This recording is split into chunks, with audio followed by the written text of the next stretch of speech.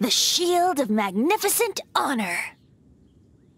Liar, liar, pants on fire. It's a chunk of wood.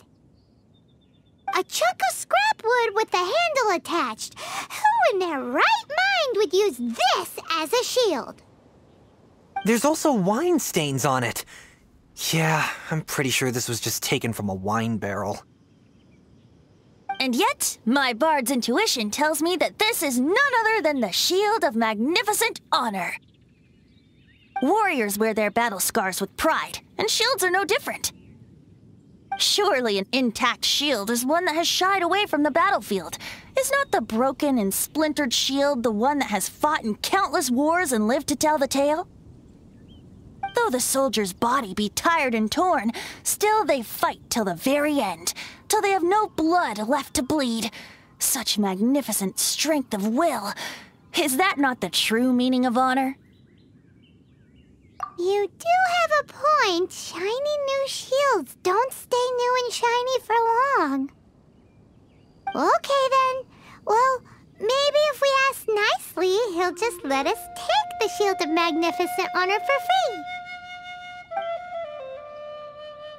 Ahem.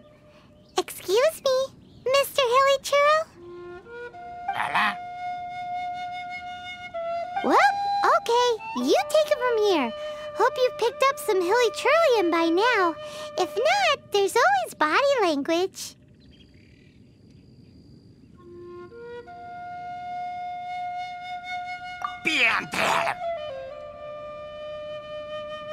Uh-oh.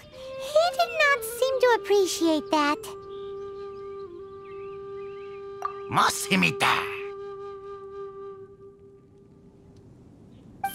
cheerful enough. Maybe negotiating will work after all. Uh, well, if you insist, a tune I shall strum. Mosimita. Seems cheerful enough. Maybe negotiating will work after all. Mexican plata. Manilla. Manitata. Oh, yeah! He actually gave us the shield! Guys, thank you so much! I can't believe I actually found them!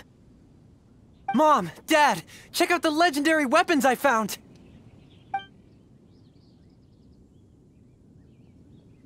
Hey, wait! The wine, you promised!